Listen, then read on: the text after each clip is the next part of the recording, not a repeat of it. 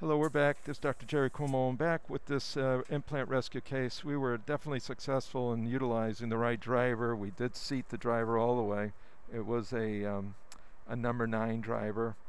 And by simply um, applying the driver, making sure we had straight line access, we were able to get a positive seat. And not only that, but, but with a little bit of a tap pressure and a uh, counterclockwise direction, holding firmly um, the driver with one finger and then just literally tapping with the other finger down, we were able to um, loosen the screw. So now we have a loose screw. The rest is academic. Um, and then we'll just apply that now. Insert, making sure the driver is all the way in. And uh, still want to make sure that uh, things come out nicely. All right, so this is Dr. Jerry Cuomo. We'll be um, we'll be back with another rescue case. Take care.